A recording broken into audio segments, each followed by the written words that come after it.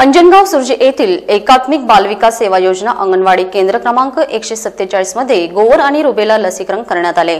यामध्ये नऊ महिने ते सहा वर्ष वयोगटातील एकशे चाळीस बालकांना हे लसीकरण देण्यात आले. यावेळी उपस्थित डॉक्टर यांनी सांगितले की सत्तावीस नोव्हेंबरपासून सुरू झालेल्या या अभियानात अंजनगाव सुरजी तहसील अंतर्गत सात ते आठ हजार बालकांना हे लसीकरण देण्यात आले. तसेच यातील फक्त एका बालकाला रिएक्शन झाल्याने त्यावर औषध उपचारही करण्यात आल्याचे सांगितले. नमस्कार मैं मेरा नाम doctor Solanke medical officer R H Anjangaon Surji.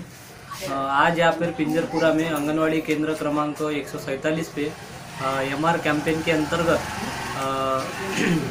बच्चों को एम आर मतलब मिजल्स और रूबेला की वैक्सीन दी गई, जिसके अंतर्गत करीबन 50 से पचास बच्चों ने उसका लाभ उठाया।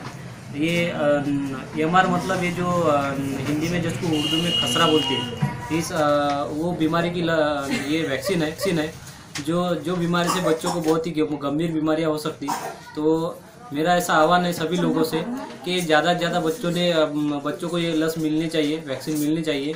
और माँ बाप से भी मेरी यही गुजारिश है कि सभी ने अपने बच्चों को ज़्यादा से ज़्यादा पैमाने पर ये लस देने वैक्सीन देने को होना जो कि जो चल के आगे उनके बच्चों को बीमारियाँ होगी, जिसको गोवर मिजल्स बोलते हैं, उर्दू में खसरा बोलते हैं तो वो बच्चों से बीमा, वो बीमारी से बच्चे बच्चे बचे रहेंगे। और अगली जो आने वाली पीढ़ी है, वो अपनी तंदुरुस्त पैदा होगी। तो हिसाब से मैं सभी सभी सभी माँ बाप माँ बाप को गुजारिश करूंगा कि ज़्यादा से ज़्यादा पैमाने पर ये लस अपना वैक्सीन अपने बच्चों को दिए जाए।